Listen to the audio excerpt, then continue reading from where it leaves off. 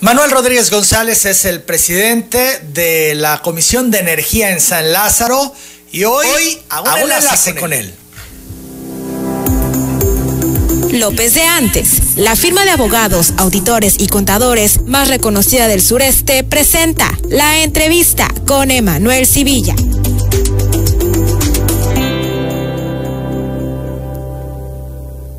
Saludarte, ¿cómo estás? Muy buenos días. Muy buenos días, muy contento de poder estar en tu programa y saludar a mis queridos paisanos. A tus órdenes, Emanuel. Gracias, pues preguntarte cómo va este Parlamento abierto que tiene que ver con la reforma eléctrica que ha presentado el presidente López Obrador.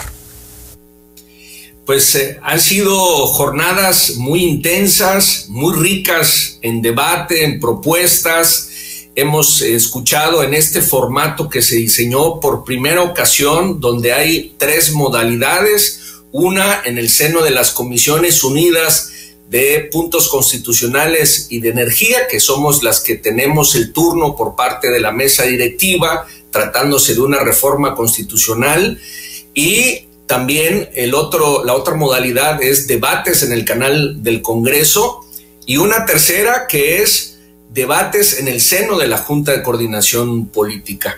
Hasta el día de hoy llevamos siete y esta jornada celebraremos el octavo Parlamento abierto sobre este trascendental tema de la iniciativa que nos envía nuestro paisano, el presidente de la República, Andrés Manuel López Obrador.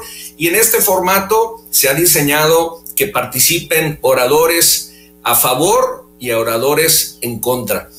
Eh, esto no quiere decir que quienes participen en contra no tengan algunas coincidencias, sino que aportan algunos puntos de vista eh, que pueden enriquecer la propuesta, lo mismo que quienes votan a favor, quienes también pueden proponer algo que fortalezca aún más la iniciativa.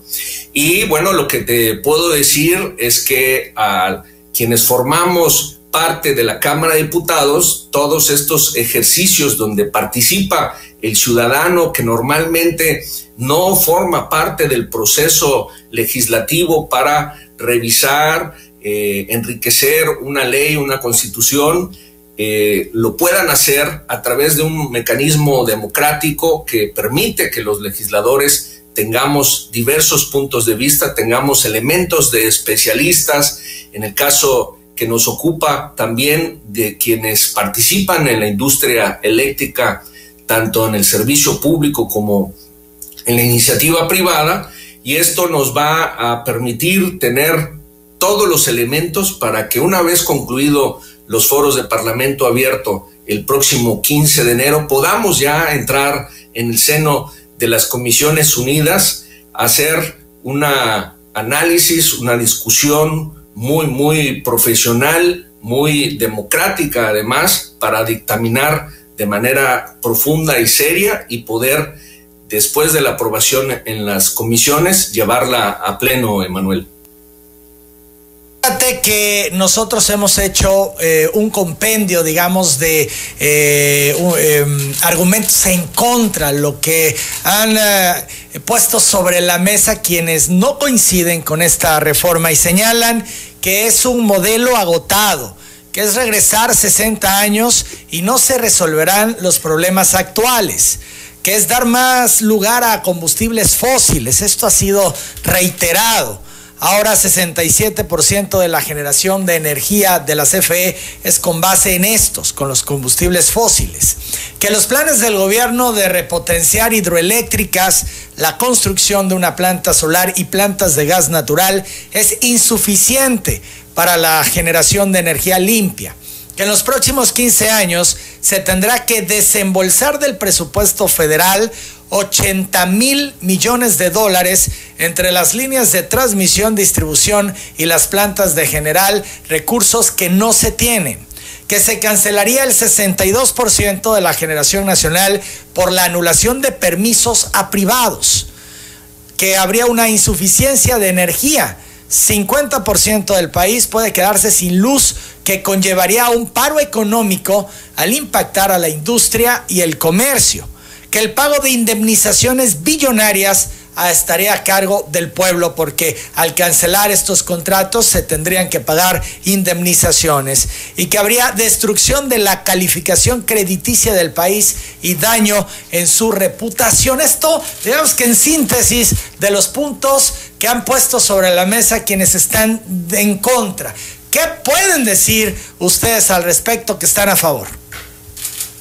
Bueno, primero decir, Emanuel, que no señalan eh, pues la deficiencia más grande del nuevo sistema eléctrico nacional que dejaron impuesto desde el 2013, en donde nos ofrecieron que la energía eléctrica, el costo de la energía eléctrica iba a bajar y no ha sido así, ha subido de manera constante. Les comparto un dato. De 2013 a 2018, las tarifas domésticas en general aumentaron 35% en ese periodo. Y en el caso de las comerciales, empresariales, aumentaron un 68%. Y para quienes consumen en su domicilio grandes cantidades y pasan a ser tarifa DAC, de alto consumo se le conoce, en ese caso aumentó 168%.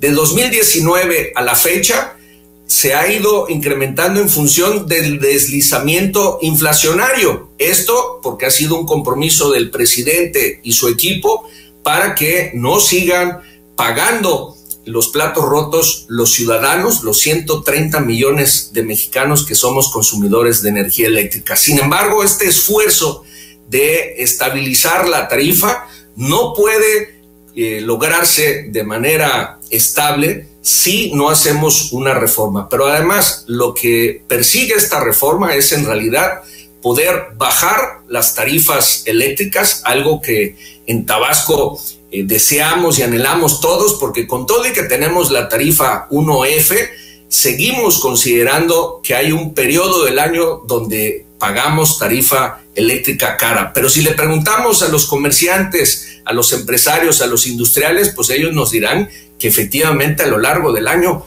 pagan tarifas eléctricas muy costosas. Y esto es porque el sistema que dejaron implementado, que beneficia eh, de manera eh, muy sustancial a las empresas privadas generadoras de energía eléctrica, porque el esquema de subastas diarias les permite tener márgenes de utilidades estratosféricas que pagamos nosotros los usuarios.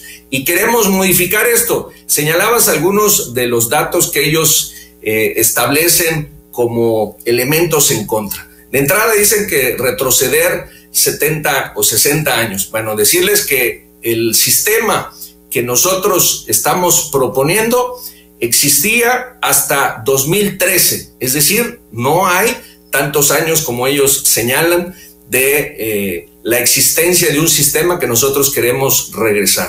Lo que sí eh, les puedo mencionar es que hace 20 años la Comisión Federal de Electricidad producía el 100% de la energía eléctrica de este país y después de que en 1960 solamente estaba electrificado y tenía el servicio de energía eléctrica el 45% de la población en este país, hoy ya lo tiene el 98.8% de la población. Y esto es gracias a que tenemos a la Comisión Federal de Electricidad, gracias a que la visión del Estado mexicano es que el servicio eléctrico debe ser un servicio público, un servicio que nosotros proponemos que pueda incluso ser elevado a derecho humano el acceso a la energía eléctrica. Nosotros no tenemos ningún inconveniente en que participe la iniciativa privada en la generación de energía eléctrica. Es un hecho que ya están en el mercado, que hoy por hoy ellos generan el 62% de la energía eléctrica que consumimos, es decir, de 100 kilowatts, 62 son producidos por ellos y el 38% por la Comisión Federal de Electricidad. Esto no quiere decir que la Comisión Federal de Electricidad no tenga la capacidad para producir más, sino que el modelo de cómo se despacha la energía eléctrica diariamente va haciendo que la comisión cada vez reduzca su proporción de generación. Para 2029 tendríamos en el sistema eléctrico nacional solamente una aportación del 14% por parte de la Comisión Federal de Electricidad, lo que marcaría prácticamente su desaparición. Y nosotros no queremos que a México le suceda lo que está viviendo Europa en estos momentos, en donde prácticamente la mayoría de los países dejaron en manos de privados el mercado eléctrico y ellos, pues su finalidad es generar utilidades si los insumos se les incrementan, ellos en automático incrementan las tarifas eléctricas y quien paga todo eso es precisamente el usuario. Y les pongo un ejemplo, tan solo de agosto 2020 a agosto 2021, en Gran Bretaña se incrementó el costo de las tarifas eléctricas en 361%. Eso es algo que en México no podríamos aguantar, no tendríamos ¿sí? la capacidad para pagar la gran mayoría de los usuarios y por eso es necesario que el Estado mexicano mantenga la rectoría sobre el sistema eléctrico nacional, es decir, que tengamos soberanía y seguridad energética garantizada por el Estado mexicano. Por eso estamos proponiendo un sistema mixto en donde coexistan la Comisión Federal de Electricidad y también la iniciativa privada. El 46%, Emanuel, que se le va a garantizar a la iniciativa privada representa todo el sistema eléctrico de la República de Argentina y de Chile en su conjunto. Es decir, es un mercado enorme, pero además en un crecimiento permanente, porque la transición energética, que por cierto, eso no lo mencionan ni lo destacan, la estamos proponiendo que se eleve a rango constitucional, es decir, que sí o sí se cumpla ese compromiso que tenemos con la humanidad de ir eh, descendiendo el número de emisiones contaminantes a la atmósfera. Y por eso es también una mentira que señalan que vamos a generar energía sucia. Eso es eh, una, una, gran mentira, como decía hace un momento, porque de entrada eh, mencionarles que el proyecto solar más importante en estos momentos de toda Latinoamérica lo encabeza México con la Comisión Federal de Electricidad en el proyecto de Puerto Peñasco, Sonora, que será un parque de 2.000 hectáreas y que vendrá a contribuir de manera muy importante para que haya energía limpia en toda esa zona del norte, noroeste del país. Y bueno, por otro lado, tampoco señalan que ya está previsto que para 2024 vamos a tener eh, cerradas las cinco centrales eléctricas que generan energía eléctrica con combustóleo. ¿Por qué? Porque hay un compromiso firme de disminuir nuestras emisiones contaminantes.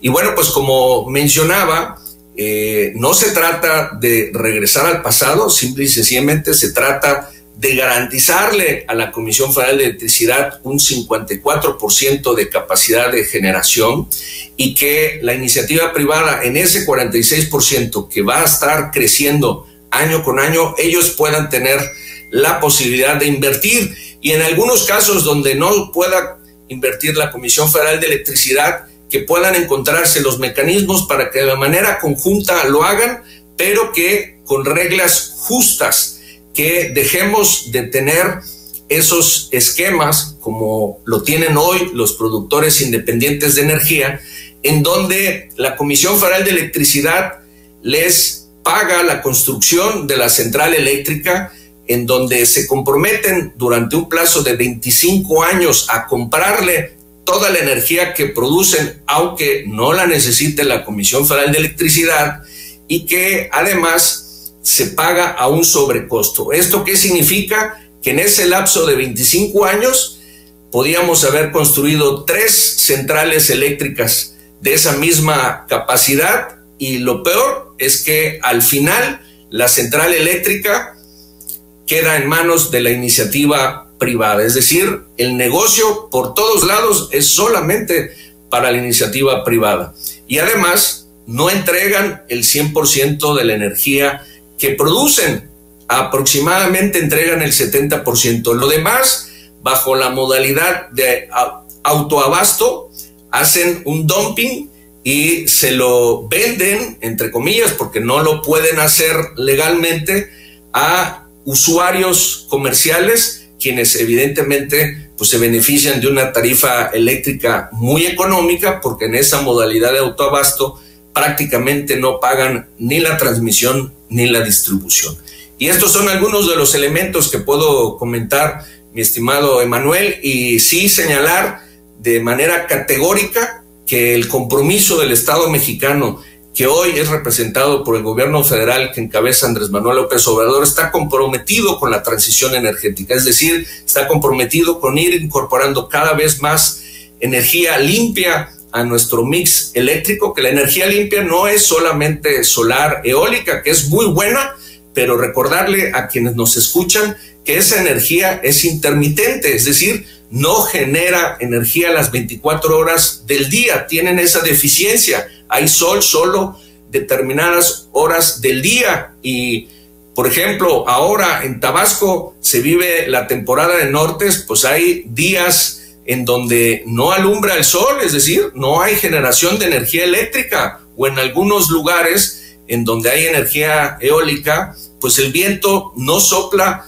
las 24 horas del día el resto del tiempo que no se genera debe haber una eh, electricidad de respaldo y esa hoy la provee la Comisión Federal de Electricidad y nadie le da el respaldo. Tan solo ese concepto significa para todos nosotros, porque somos los dueños de la Comisión Federal de Electricidad, los 130 millones de mexicanos, nos representa ese solo concepto 50 mil millones. Y te redondeo la cifra, Emanuel todo lo que pagamos nosotros de lo que denominamos subsidios ocultos a la iniciativa privada en las reglas actuales significa aproximadamente 300 mil millones de pesos anuales, lo que significa que podríamos construir una refinería de dos bocas al año y nos sobraría todavía recursos para construir hospitales, para construir escuelas y un sinfín de beneficios sociales que tanto necesita nuestro querido México y Tabasco, Emanuel. Es lo que te puedo comentar. Estamos platicando con el eh, diputado federal Manuel Rodríguez, presidente de la Comisión de Energía en San Lázaro.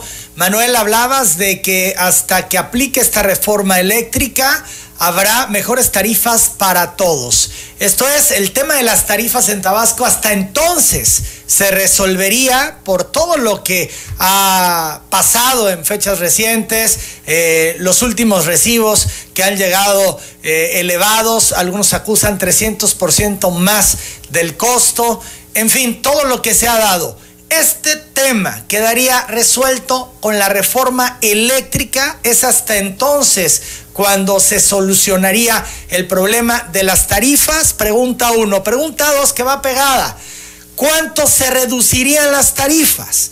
Y pregunta tres, ¿sería de inmediato? Esto es, se aprueba la reforma eléctrica y en inmediato viene eh, la disminución de las tarifas? Emanuel, a la pregunta uno, efectivamente, la forma de resolver de fondo el alto costo de las tarifas es con esta reforma constitucional. Es un hecho que lo podríamos hacer. Incluso está planteado que se pueda crear un nuevo sistema tarifario después de la reforma. ¿Por qué digo después de la reforma? Porque aquí estamos hablando de una reforma constitucional. Son tres artículos solamente que se modifican, el 25, el 27 y el 28. Y en ese sentido, eh, ya en las leyes secundarias entraríamos a la creación de un nuevo sistema tarifario que sea mucho más sencillo de entender para todos, pero también de aplicarlo. Y eh, contestando a que si se reduciría y en qué porcentaje, se calcula que sería de un 40 a un 50% más barato de lo que tenemos actualmente. No podría ser inmediato porque hay que instrumentar esta nueva reforma y de manera gradual iría disminuyendo los costos. Eh, podemos pensar que en el primer año de aplicación de esta reforma se podría llegar a un 20% y para el segundo año podríamos tener ya el complemento. Esto es muy importante para todos, pero no tan solo porque va a ayudar a la economía de las familias, que eso es trascendental, sino que también va a ayudar a ser más competitivos a todos los empresarios del país, porque además lo que no señalan es que existen empresarios de primera y de segunda en este país y de segunda, pues están la gran, la inmensa mayoría de los empresarios, porque son los que pagan las tarifas eléctricas costosas. Los que están en la primera categoría, que son un grupo de 77 mil usuarios, ellos pues pagan aproximadamente un tercio de lo que paga un empresario normal, un empresario que hace las cosas adecuada y bien.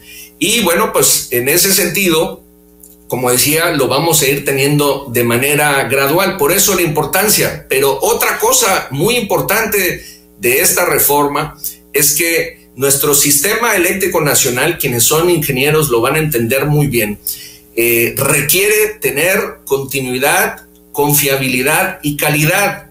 Y a como está operando actualmente, en donde no existe una planeación adecuada eléctrica, tenemos eh, al día 30 alertas que tiene que resolver el SENACE de manera eh, pues inmediata, eh, casi casi en fracción de segundos, para efectos de garantizar que tengamos energía eléctrica de forma permanente, que cada vez que encendamos un switch pueda encenderse la luz o que cuando conectamos nuestro teléfono celular pueda cargarse.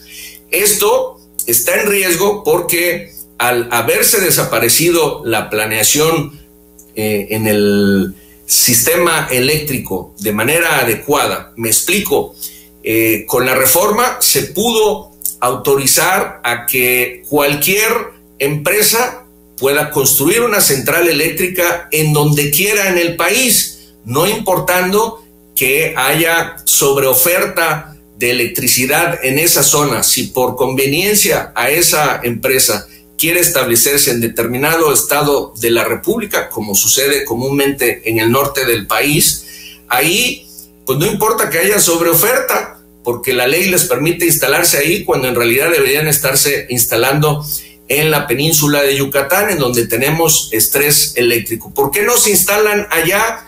Porque no les resulta negocio. Y como la ley prevé que pueda transmitirse su energía desde el lugar donde estén a costos muy bajos, pues quien está sufragando esos costos, pues es la Comisión Federal de Electricidad, es decir, todos nosotros. Pero ¿qué efecto produce sobre el sistema eléctrico? Que pierde confiabilidad, que pierde continuidad, y eso es lo que queremos evitar para que los 365 días del año, las 24 horas del día, tengamos energía eléctrica continua, confiable y de calidad, Manuel. Manuel Rodríguez, el presidente López Obrador se refiere esta mañana en su rueda de prensa que una vez que concluya el Parlamento abierto sobre reforma eléctrica que se lleva actualmente a cabo, del que estamos hablando, se informarán en los estados, una especie como de gira. Vamos al enlace a Palacio Nacional a escuchar al presidente. Según la información, se están llevando a cabo foros. Todo esto lo está haciendo el Congreso. Y posteriormente, si eh, nosotros vamos a informar a la población se va a visitar todo el país, pero son informes del Ejecutivo. Los foros